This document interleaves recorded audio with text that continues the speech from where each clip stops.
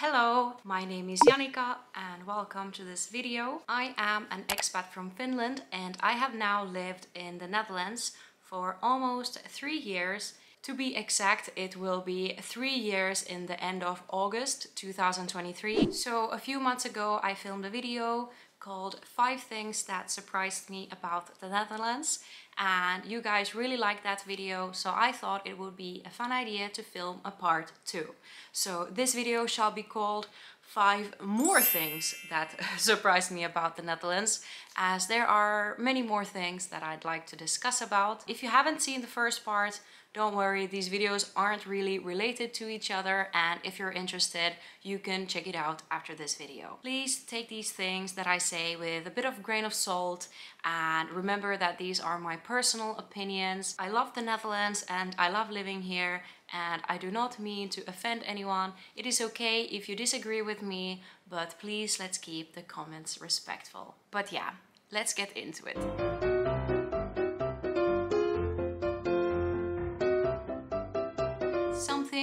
And my boyfriend have had a few discussions slash arguments about is if you should wear shoes inside or not. I have heard that not all Dutch people wear shoes inside, but from my experience, most of them do. And in the Northern European countries, we do not do that. It has caused a bit of a dispute once in a while. I think it would be easier to keep the apartment clean if you wouldn't be wearing shoes inside and especially when it comes to the carpets. I always take my shoes off when I'm inside and I honestly think it's much more comfortable that way. I don't know, I'm often sitting, like even now when filming, I'm sitting with my legs crossed so if I would be wearing shoes, that would be very uncomfortable. So I don't really know, understand why you would want to wear them inside. My boyfriend argues that he thinks it's more hygienic to wear shoes inside, especially if you're visiting someone, because then you don't need to smell anyone's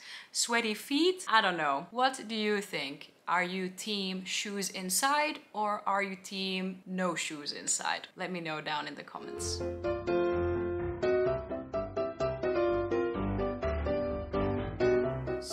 I come from Northern Europe. The Netherlands is also geographically located quite in the north of Europe, but yeah, it's not Northern Europe, but you get my point. At least in the recent years, the Netherlands hasn't gotten much snow. What I have understood, there's a bit more snow in the southern provinces, but I live in Leiden and here we don't really get snow and if we do it's the kind that melts almost immediately but a few years ago in 2021 February we actually got quite a lot of snow and I was thrilled about it. What I didn't expect was the slight chaos that followed it, especially when it came to public transportation. So me and my friend, who is also from Finland, had seen on the news that there's gonna be snow and we thought, yay, like amazing.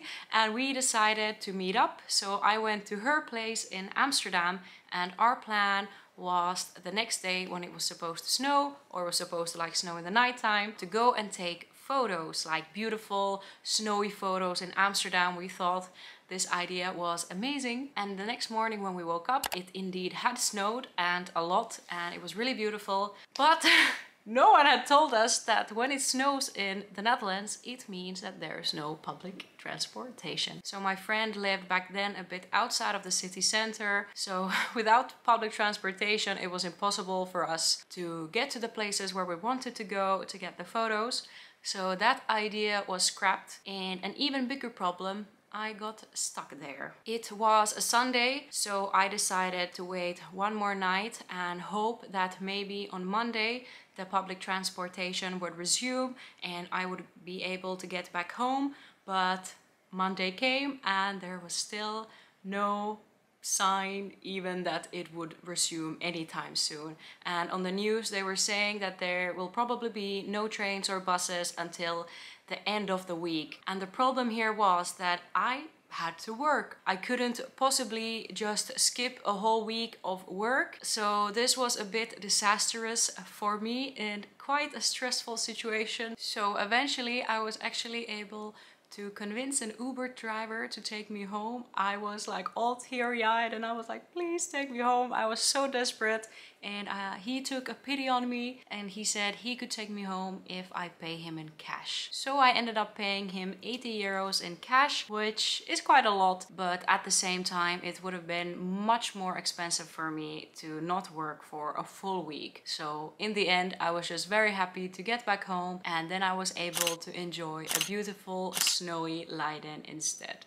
That whole experience was quite surprising for me because I come from a country where it's snow like all the time during the winter and the public transportation is working fine. I thought maybe there will be some delays, but surely I can get home. But no, that was not the case. So yeah, lesson learned. Next time if I see it's gonna snow in the Netherlands, I'll make sure to stay home.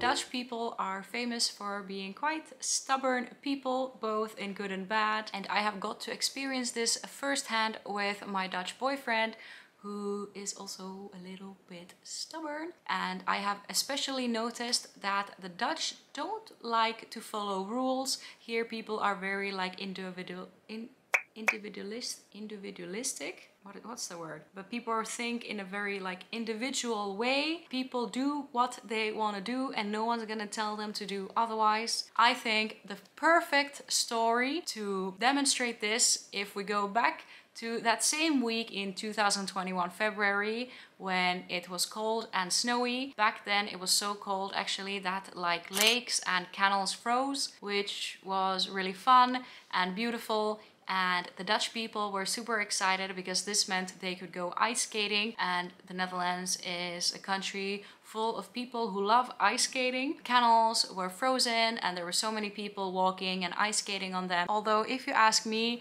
looking at how thin the ice was and it was like crackling under people, I would have never gone on that ice in Finland. We are like brainwashed to be scared of thin ice since we are children. So yeah, for me it was a bit too thin to get on. But anyway, I get that here. It's such a rare occurrence for the waters to freeze like that, so people wanted to really enjoy it. But the cold weather lasted for about a week, and then the week after that, it started getting warmer again. So on the news, they were saying that do absolutely not get on the ice anymore. It is so thin, it won't hold. And guess did anyone listen to that advice? The next day, the news and social media was full of videos and photos of people falling through the ice. I thought that was a great symbolism for the Dutch stubbornness and if they want to do something they certainly will even if it means that they will be falling through the ice.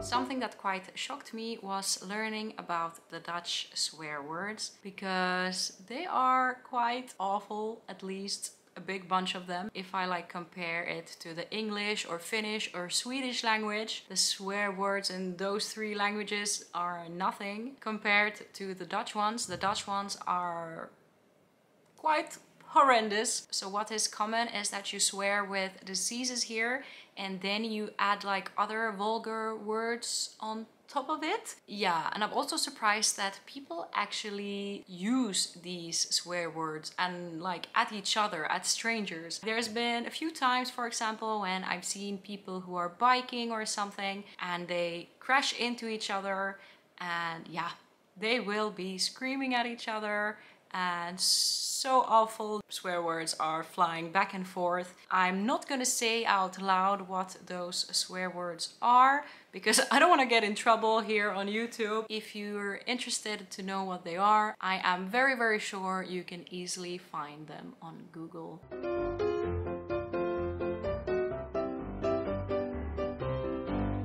So when you are here in the Netherlands and strolling around the city, you might notice something. Pretty much no one closes their curtains and this is very different from Finland. In Finland people are very private and pretty much the second they come home they close the curtains. Maybe they even keep the curtains closed all day. I'm not sure if I think that's good or bad or I think this is like a neutral thing. But yeah, here in the Netherlands, people don't close their curtains. So when you're walking here around, you can really see into everyone's homes. I don't know, I guess the Dutch don't feel like they have anything to hide. It doesn't mean that you should go and really look inside people's apartments and go staring at them as if it was an aquarium. Of course, you should respect their privacy still, but yeah, sometimes you can't help but seeing a little bit of things while walking around. You can pretty much see everything, even when you're trying not to look. You will see people having dinner and watching the TV.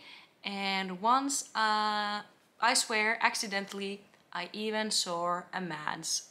What did you think about those five things that I just mentioned? If you are a fellow expat, can you maybe relate to these things that have surprised me? And if you are Dutch, do you maybe agree with me or do you disagree with me? Let me know down in the comments. By the way, I recently hit 2,000 subscribers here on this channel. By the time you guys are seeing this video, this will have already happened a few weeks ago. And I wanted to come and officially thank you guys. And I can't believe there is now more than 2,000 of you guys who have decided to stick around. So yeah, really thank you from the bottom of my heart. To celebrate this little milestone, I thought it could be a fun idea to film a Q&A video as a few of you guys have requested it. So if you have any questions for the Q&A, please leave them down in the comments. Thank you so much for watching this video. If you enjoyed it, please give it a thumbs up. And remember to subscribe to my channel if you want to also see future videos. See you again on my next adventure. Bye bye!